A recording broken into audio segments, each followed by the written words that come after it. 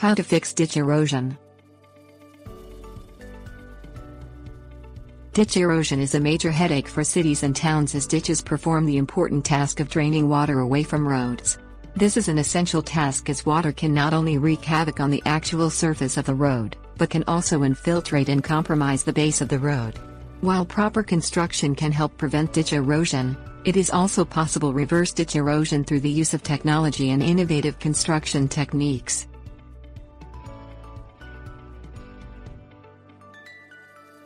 Things you'll need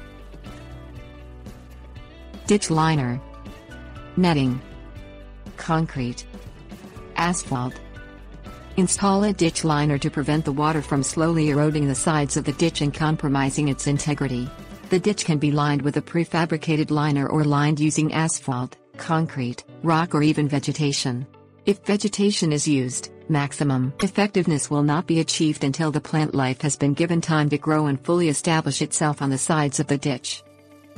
Reduce the velocity of the water flowing through the ditch by installing check dams and cross culverts. The dams will slow the water flowing through the ditch and help to prevent it from eating away at its sides.